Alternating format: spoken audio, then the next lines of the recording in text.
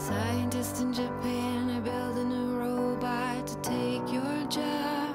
I was at a conference recently where Nigel Cameron was addressing the crowd. He is a premier bioethicist and uh, scientific researcher, and he was talking to the crowd about how if we don't talk about issues of bioethics, not something we want to talk about, but if we don't discuss it, we're going to find ourselves very, very shortly in in um, places of conflict and ethical uh, grayness that we're not prepared for, whether it's in childbirth or in uh, caring for our aging parents. And so he said, you know, I can't really get up on a Sunday morning and say, scientists in Japan are building a, a robot to take your job.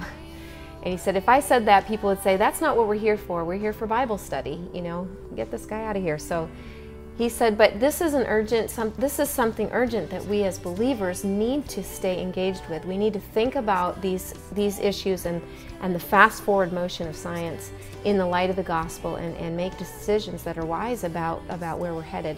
And he said, it's not that, that uh, we're losing this battle in bioethics, we're not even on the field. We're not even engaging anymore in the conversation.